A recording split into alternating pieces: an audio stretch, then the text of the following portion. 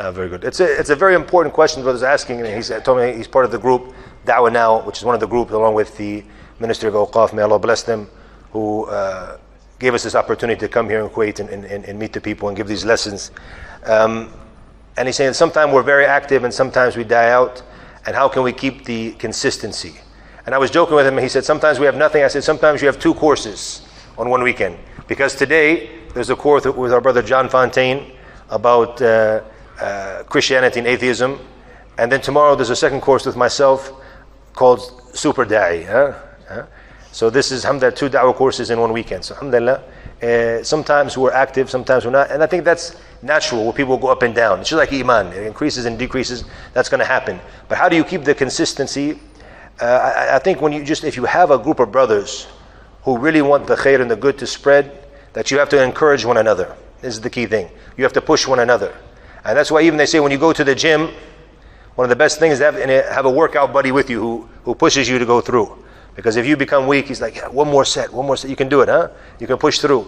Uh, you have one more, two more reps, push, push, push, huh? And then he, he, he pushes you through. So the same thing now when it comes to the uh, issues of, of, of dawah, when it comes to the issues of, uh, you know, I, I, think a lot of the things that we're going to cover tomorrow, I don't want to say too much about the course tomorrow, about super da'i.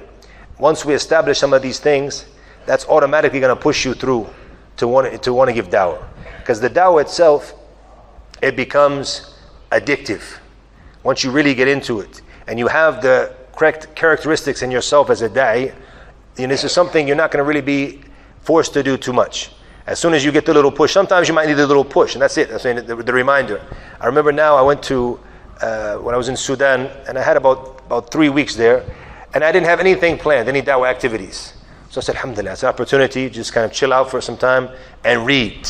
Read what I want to read, not read what the people want me to teach them. I get to read what I want to read, Alhamdulillah. So I sat for about half of the time just sitting around reading the entire day. Only time I would get up is to go and pray and come back and just read. That was it. Uh, it was beautiful for me. And then when the brothers realized I was there, they, they started to push me to give da'wah, to give lectures, and I didn't want to do it because I wanted to just continue reading. But I realized obviously the khair was there and it was beneficial for myself and for the, the community, alhamdulillah. So we started giving the daily lessons there after Fajr and other times, alhamdulillah, and the khutbah and what have you. So alhamdulillah, this is sometimes you just need that little push, that incentive and the reminder. So if you guys make a commitment, the core team, that you're going to push each other and not going to let the person, uh, you know, uh, off easily. He's going to have to. He's going to have to come to weekly events. Start making things wajib, where if you want to be a member, there's certain things you have to do.